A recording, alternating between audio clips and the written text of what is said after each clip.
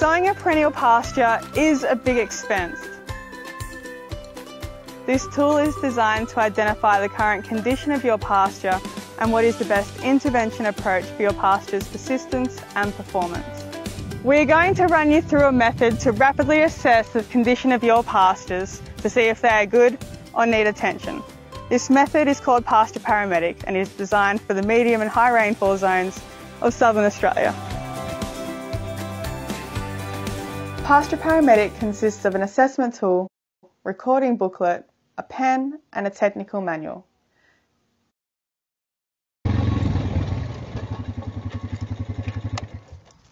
The Pasture Paramedic tool involves two steps. The first is assessing the pasture condition. The second step uses an assessment score to decide how best to manage the pasture in the future. Step 1 in Pasture Paramedic can be done in late winter, early spring, and late summer and early autumn. The green side is for assessments in the growing season when the perennial grasses have responded to rainfall and the clovers and weeds have germinated. At this time of year, you have a good idea of the pasture you're working with. Three key indicators are used to assess the condition of a pasture and each indicator is given a score. We call these indicators critical assessment factors. The third critical assessment factor is a type of dominant weeds. In Pasture Paramedic, these have been categorised as Category A, which have grazing value, Category B, which are less palatable, and Category C, which have no grazing value or have effects on animal health. The yellow side is for assessments between late summer and early autumn before the autumn break. This is a good time to determine which perennial grasses have survived over summer and how ground cover has been managed.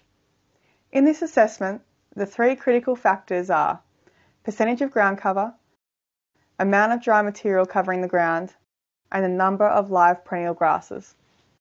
Start with critical assessment factor 1.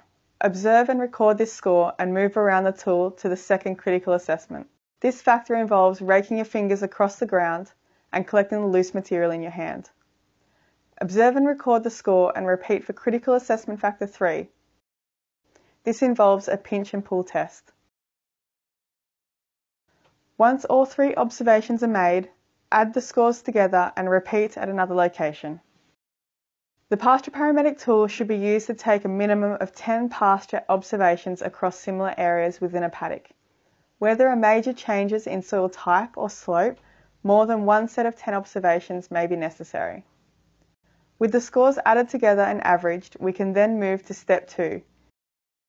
This involves using the pasture's total assessment score to decide what actions to take. These scores relate to three decision points. 1. Maintain current management. 2. Consider manipulation to improve the pasture.